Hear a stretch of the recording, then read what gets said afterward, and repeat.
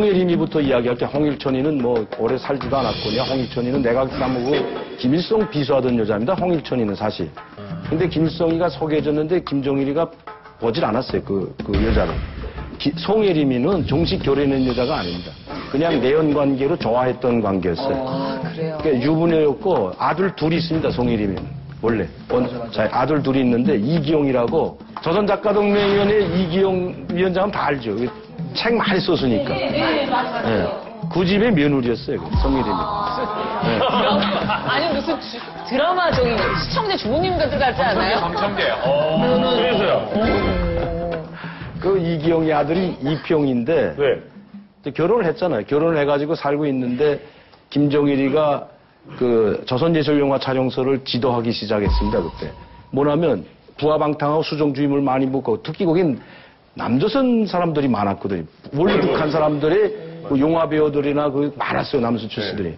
그래가지고 김정일이가 제일 먼저 그 혁명화 노동 계급 한다고 내려간 데가 바로 조선예술영화 촬영소입니다. 그리고 거기는 숙소까지 있었습니다. 김정일이 숙소가 따로.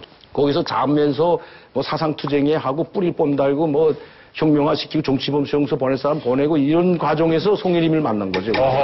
그리고 거기서 좋아하게 됐는데 임신된 걸 몰랐어요 사실 김정일이는 모르는데 그 뭐 유부녀니까 일단 자식 둘이나 있는데 그 자기가 수- 살을 나게 된 건 아니었거든. 아니 근데 지한지 어떻게 알아요 유부녀? 아니 그러니까 이제 이제 또 그니- 그러니까 지할 줄 모르니까 이제 8개월쯤 됐을 때 알게 됐어요. 그 이거 당신 아들이라고 말했지. 그 송혜림이가 깜짝 놀랄 거 아니에요. 이거 큰일 나거든요. 이거 아- 알려지게 되면 후계자는 둘째 치고 이거 김정 김일성이 무슨 날벼락돌일지 모르는 상황이니까 몰래 난 거예요. 김일성이도 몰랐어요. 송혜림이 그런 관계조차 몰랐죠.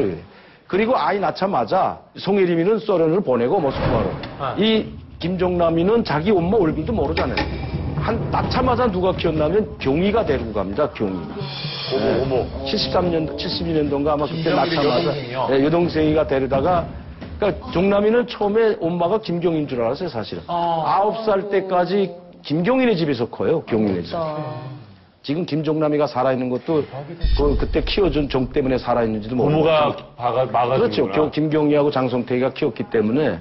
그러니까 송혜림이가 이 모스크바에서 살다가 비참하게 죽었거든요. 그래서 그 송혜랑이 언니 같이 나가 있었어요. 그 모스크바에. 근데 송혜랑이 아들이 바로 이한용 씨거든요. 그래서 송혜림이 송혜랑이를 다 데려오려고 했던 거 아닙니까, 한국으로. 그렇지. 그러다가 조격당한 거예요. 분당에서 총 맞으시고. 네, 97년도 2월 달에 조격당한 사람.